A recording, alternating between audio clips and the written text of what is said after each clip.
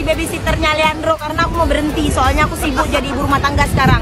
Jadi kalian kalau mau gantiin posisi aku, jadi asisten Leandro itu gampang kali ya. Gajinya 10 juta per bulan dan kerjaannya itu nggak nggak nggak ribet sama sekali. Uang makan, biaya transport segalanya segala macamnya ditanggung sama Bang Rizky Nasution.